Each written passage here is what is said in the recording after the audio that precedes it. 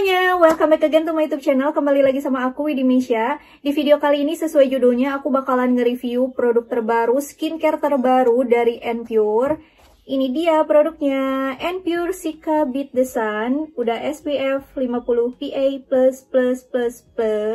Ini ya, waktu aku unboxing aja, packagingnya tuh udah bikin aku gila ini produk keren banget, kece banget warnanya, packagingnya parah bagus banget. Nah, and Pure Sika Beat Design ini bener-bener packagingnya ya, wah banget. Terus di sini ada tulisan Natural Daily Protection SPF 50 PA++++.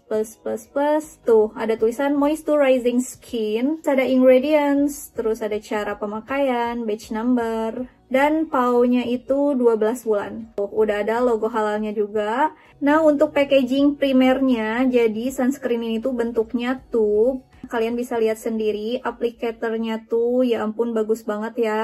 Kayak kaca gitu. Terus lubangnya menurut aku bener-bener efektif ya. Ini kecil mini gitu sesuai dengan um, yang biasa kita pakai. Untuk teksturnya ini sunscreen bagus banget ya. Tuh super light bener-bener cepat menyerap dan finishnya tuh no white cast ya. Kalian bisa lihat sendiri ini no white cast gak lengket sama sekali. Sekarang aku mau bahas dulu kandungan aktif yang ada di sunscreen and pure terbaru ini. Yang pertama, yang paling mendominasi, jadi ada 100% natural Sika Leaf Water. Wow banget, sampai 100% dong. Jadi fungsinya itu buat soothing, buat calming.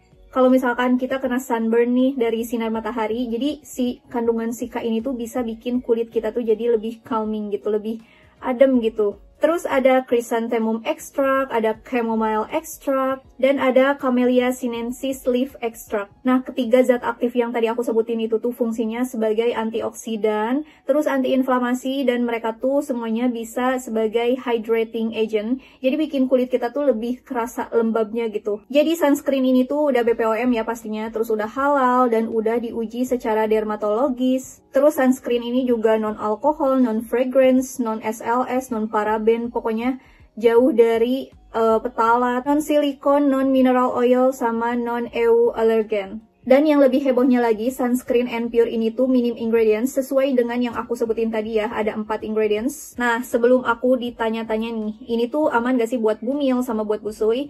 Oke, jadi sunscreen and pure ini tuh aman buat bumil sama busui. Aku juga busui, udah cobain ini. Asli ini keren banget karena SPF-nya aja udah SPF 50 PA++++, berarti udah bener-bener bisa menangkal UVA sama UVB dari sinar matahari. Oke, sekarang aku mau ngebahas review pemakaian sunscreen ini. Jadi aku waktu kemarin-kemarin itu udah cobain sunscreen ini, udah uji ketahanan gitu ya. Dan aku melakukan outdoor activity atau uh, aktivitas di luar gitu ya. Karena kemarin itu emang jadwalnya aku buat ngebersihin tanaman aku gitu, buat nyiram, buat pokoknya banyak lah ya untuk uh, tanaman aku. Seperti yang kalian tahu ya, aku suka update di Instagram Story, punya banyak tanaman, jadi um, udah waktunya kayak reporting dan sebagainya, mau yang di depan rumah sama yang di belakang rumah, jadi aku um, lebih ke aktivitas outdoornya di situ aja sih. Nah, terus aku udah menguji ketahanan dari sunscreen ini. Ini before-nya, dan ini after-nya. Jadi menurut aku ya, selama aku pakai sunscreen ini, biasanya aku tuh reapply sunscreen pas zuhur, jadi waktunya sholat gitu ya. Lumayan kan aku pakai tuh bisa dari jam tujuhan, dan itu aku pakai sekitar jam tujuhan lebih. Jadi aku berarti udah pakai selama kurang lebih 5 jam. Seperti pas aku pakai pas before-nya, before activity ya maksudnya. Nah, menurut aku masih kurang lebih sama seperti itu. Jadi nggak kayak cepat luntur juga. Buat aku, di kulit aku yang normal to dry, sunscreen ini menurut aku masih kelihatan um, dewy gitu ya. Oke, jadi kesimpulannya sunscreen ini di kulit aku tuh bagus-bagus aja ya. Di kulit yang normal to dry, masih oke. Terus kita bahas juga um, sunscreen ini tuh bikin peeling gak sih? Sejauh ini ya, sejauh pemakaian aku pakai sunscreen ini uh, dengan urutan skincare yang biasa aku cobain, aku ngerasa sunscreen ini tuh nggak bikin peeling. Sekarang aku mau apply sunscreen ini di bagian wajah aku yang kiri, biar kalian lihat sendiri ya before dan afternya, white cast atau no white cast. Menurut kalian. Jangan lupa pakai sunscreen sebanyak dua ruas jari, tapi sekarang aku mau pakai satu ruas aja, karena di bagian sini aja ya.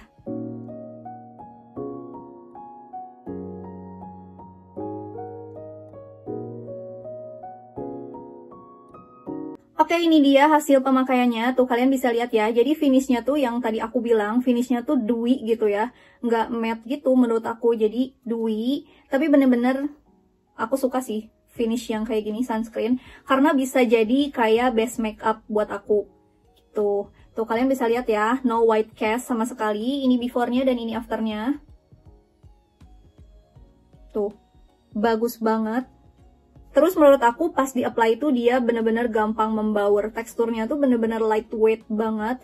Enak banget pokoknya. So, aku bener-bener rekomendasiin banget sunscreen and Pure Sika Beat the Sun SPF 50 PA++++ ini buat kalian yang masih nyari sunscreen yang lokal, terus bagus, terus bisa dicoba buat semua jenis kulit, kalian bisa cobain ini.